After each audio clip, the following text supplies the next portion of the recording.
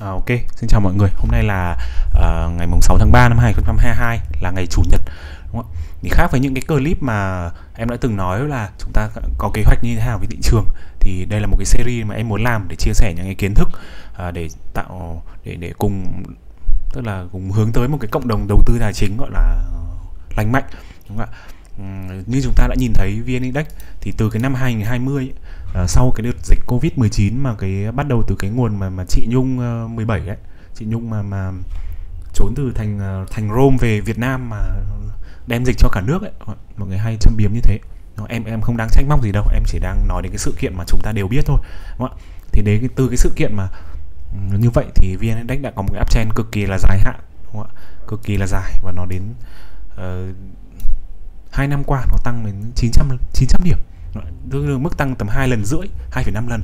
Thế khi mà thị trường tăng đến 2,5 lần về số điểm thì trong đấy có rất là nhiều những cái dạng cổ phiếu mà nó nó nó nó cực kỳ là thay đổi gọi là lột xác và nó giúp rất nhiều những nhà đầu tư là đổi đời. Và cái thế hệ nhà thế hệ người giàu ấy, qua những cái năm vừa rồi nó nó lên rất là nhiều.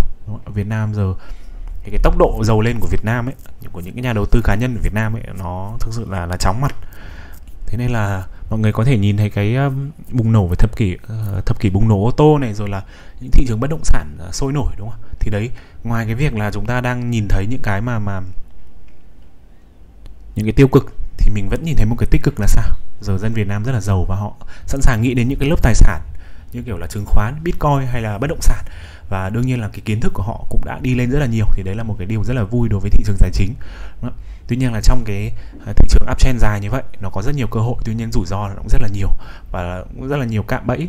Uh, tiêu biểu gần đây nhất thì mọi người có thể nhớ ra những cái dạng cổ phiếu mà ví dụ anh tổng tư lệnh gì gì đấy ấy, đúng không người hãy nghe tư lệnh rồi các thứ rồi là bao nhiêu giáo viên giáo viết là là à, đổ hết tiền lương hưu vào trong đấy xong cũng là mất hết đúng không? Đây mọi người nhìn ví IDI mọi người nhớ không? 7 lên 26 xong rồi bắt đầu là sàn khóa sàn tầm gần một tháng. Đó, IDI SGF này.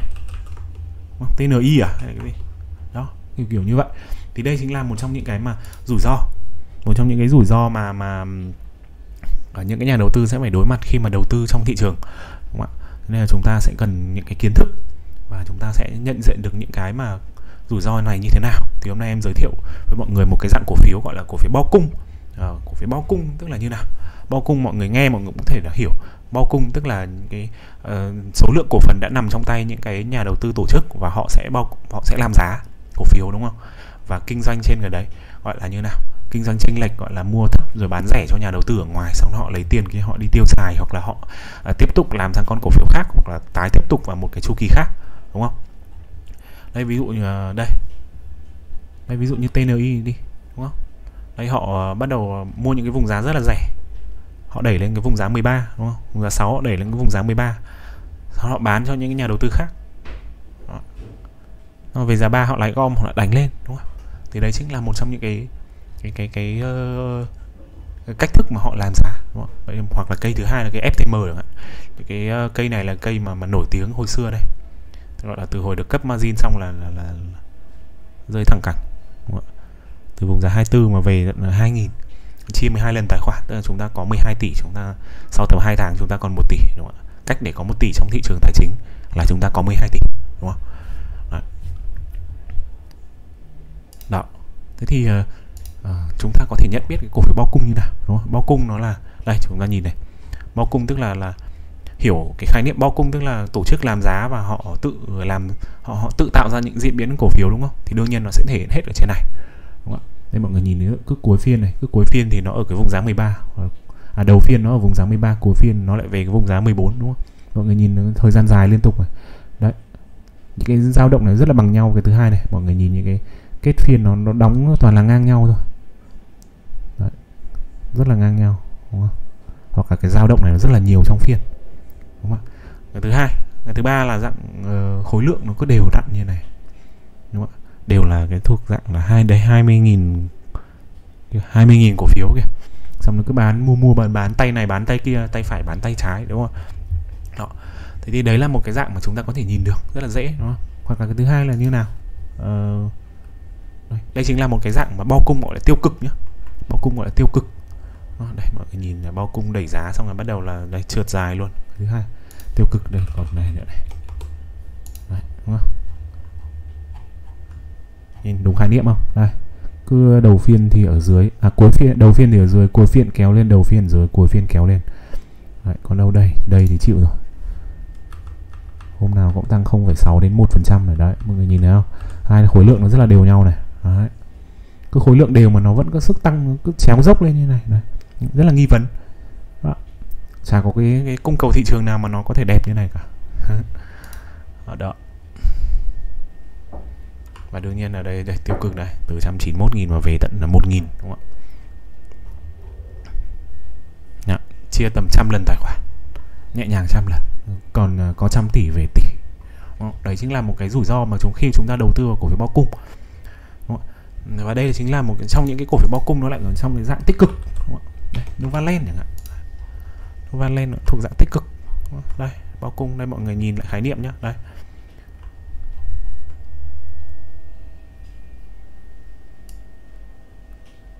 Đấy, đầu phiên thì ở dưới cuối phiên kéo đầu phiên dưới cuối phiên kéo đây mọi người nhìn dao động rất là thẳng hàng. Đây khối lượng nó rất là đều đúng không? Đó đây đây thế này một vùng dao động này. Xin lỗi mọi người. Đấy, vùng dao động này đấy, cứ đầu phiên ở dưới cuối phiên ở, ở trên đúng không? Tuy nhiên là là đây mọi người nhìn cái mức tăng nó rất là tốt mức tăng trưởng nó rất là tốt đúng không? Tức là nó phe nó rất là phe với nhà đầu tư. Nó rất là phe với nhà đầu tư thứ hai là những VP Bank chẳng hạn. Đây cái cái đoạn hồi xưa mà. Đấy. cứ đầu phiên ở dưới cuối phiên lại kéo dốc dốc lên. Đây xong rồi đoạn này rất là thẳng. Ờ, khối lượng tự nhiên nó đùng lên như này. Một là nó đùng lên hai là nó đều đều đúng không Đó. thì đấy chính là một cái dạng mà chúng ta có thể phân biệt được. Cái thứ hai là thế thì bây giờ là làm thế nào để biết là là bao cung như vậy là tích cực hay bao cung như vậy là tiêu cực đúng không thế bao cung chúng ta cùng nhìn lại những cái của cái bao cung tiêu cực nó đã làm những gì chúng ta nhìn những cái nó đã làm những cái gì mà chúng ta không bao giờ đầu tư vào đấy nữa đúng không? Đây ví dụ đó chẳng hạn. Đấy, bao cung này bao cung nhá. Thế thì lịch sử trong cái lịch sử ví dụ uh, niêm yết từ um, năm 2016 chẳng hạn. Thế trong 6 năm mm thì uh, nó đã từng có những cái nhịp rơi lịch sử từ năm từ 191.000 về 1.000 đúng không? Thế là cái tiền án gọi là tính cách của nó nó đã từng đối xử không công bằng với nhà đầu tư. Thế đương nhiên trong thời gian sắp tới hoặc là trong thời gian vừa rồi hay là nó đã từng xảy ra rồi là nó sẽ tiếp tục đối xử, đúng không? tiếp tục đối xử, gọi là, không công bằng với nhà đầu tư, đúng không đây, mọi người nhìn, như vậy thôi đấy 26.000 về thấp nhất là 2.000 đúng không? nó đã đối xử không tốt với nhà đầu tư, thì đương nhiên là quá trình về sau, nó vẫn sẽ đối xử như vậy, đúng không nó vẫn sẽ, nó nó vẫn sẽ lại lại tái diễn cái trường hợp đấy thì đấy chính là những cái trường hợp mà chúng ta không nên đầu tư vào, đúng không? Này con gì nữa? TCH à? Mọi người khá là thích con này, tuy nhiên là đây là một cái ví dụ mà em cũng muốn nêu ra, đúng không? còn đâu là quyết định đầu tư mọi người mua bán quyền công dân, đúng không?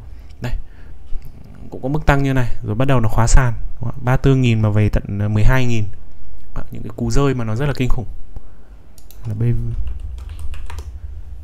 những cái dạng mà mà mà trước đây nó không có thanh khoản, đột nhiên nó lại có, đây. 21.000 về tận ờ, 2.000 những cái phần giao dịch đấy, đúng kiểu bao cung chưa ạ. Khối lượng rất là ít, đúng không? những dạng cổ phiếu này thôi, chúng ta không nên đầu tư vào đâu. Đấy là đây. Xong bắt đầu là trước đây thì không có thanh khoản nhiều. Mà cổ phiếu cứ ở cái mức này.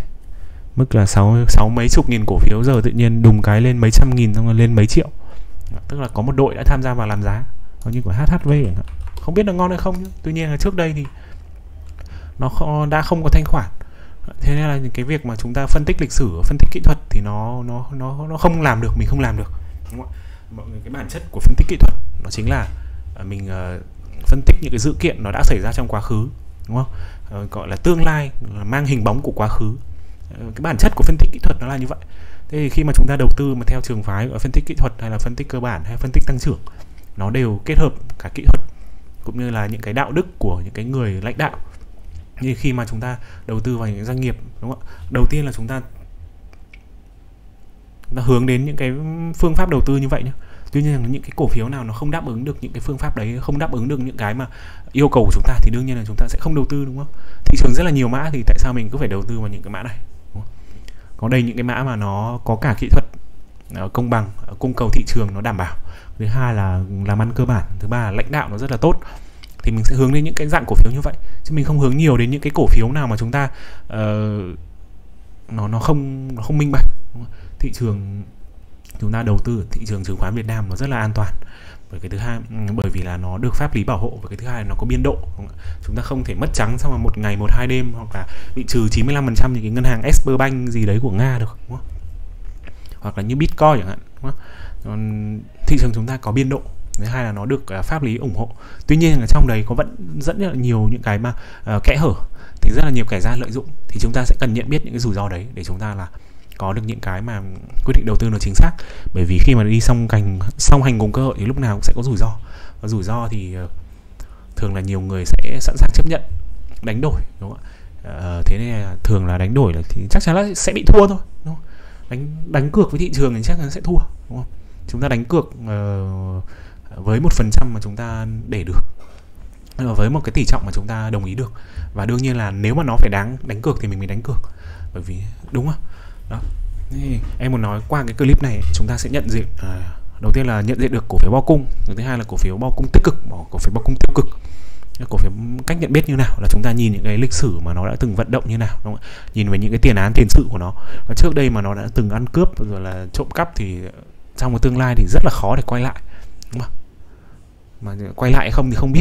Mình không cần phải đầu tư vào những cái doanh nghiệp như vậy nó thứ ba là cổ phiếu bao công tích cực thì nó sẽ đem lại những cái mức lợi nhuận khá là ok. Nói chung là lợi nhuận thì thì tùy mình đánh giá thôi đúng không? Thứ tư là chúng ta sẽ ờ, có được những cái mà um, gọi là như nào nhỉ? Gọi là là có được những cái bộ lọc cổ phiếu có được những cái yêu cầu về về về cổ phiếu đấy khi chúng ta mua. Mỗi khi chúng ta xuống tiền ấy, thì đương nhiên là mình cần một cái uh, tức là khi mà chúng ta mua một cái gì đấy thì mình sẽ mua những thứ gì mà đáng mua nhất thôi. Chúng ta không phải là chúng ta cứ nghe ai hô là mọi người vào mua. Mua thì cần biết là mình đang mua cái gì đúng không? Chứ không phải là là cứ thấy người này chat rồi là group này kia rồi là nghe tin mật đúng không? Nghe tin mật thì chỉ có là, là, là ói mật thôi đúng không? Nghe tin mật những kiểu IDI rồi SGF các thứ thì chỉ có ói mật thôi đúng không ạ? Thế là chúng ta sẽ sẽ thông minh hơn một chút và sẽ đầu tư thêm thời gian một chút. Đầu tiên chúng ta sẽ có được uh, nhận tức là có một bộ lọc cổ phiếu mà tự trong đầu à gọi là là là không phải là có thể tham khảo những cái bộ lọc trên mạng cũng được chúng ta sẽ tìm hiểu về à, kỹ hơn về cơ bản tìm hiểu kỹ hơn về cách vận động à, về tư cách của lãnh đạo hay tư cách của cổ phiếu. Thứ ba là chúng ta có ngưỡng cắt lỗ. Tại sao em lại nói về có ngưỡng cắt lỗ? Đó. Ví dụ bởi vì thị trường nó mang tính chu kỳ. À, đây em nói với một cái ví dụ đơn giản ví dụ cùng một cái mức giá VPBank nhé cổ phiếu VPBank nhé cùng một mức giá là 24 đó. thì năm 2018 10 tháng 4 năm 2018 nó đạt được.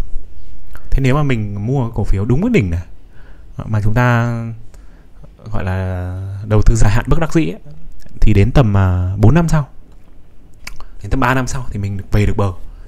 Đúng không ạ? 3 năm sau thì mình về được bờ. Đúng không? hay như SSI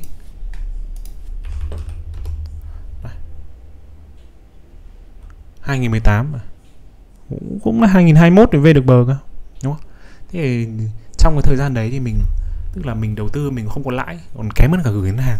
Thế tại sao mình lại phải giữ một cái cục như vậy đúng không? thế là khi mà có ngưỡng cắt lỗ ấy, uh, rất là nhiều những cái nhà đầu tư nước ngoài nhà đầu tư mà thành công trên thế giới thì họ đều có những cái ngưỡng cắt lỗ của họ. Bởi vì sao? Bởi vì họ quan niệm rằng khi họ sai ấy, họ sẽ giới hạn được cái phần sai đấy để dành những cái ờ, phần đúng thì họ mới mới đặt thêm tỷ trọng, đúng không? mọi người hay nói về trung bình giá xuống rồi các thứ nhưng em sẽ nói cho mọi người một bài toán, tại sao chúng ta lại phải trung bình giá xuống làm gì? Hoặc là có một cái clip cắt lỗ em đã nói rất là kỹ về cái vấn đề này. Rất là nhiều những cái thứ mà chúng ta phải làm trong quá trình chúng ta quyết định là không cắt lỗ, đúng không? thì đương nhiên là việc gì dễ chúng ta làm thôi, chúng ta làm mấy việc khó làm gì, đúng không?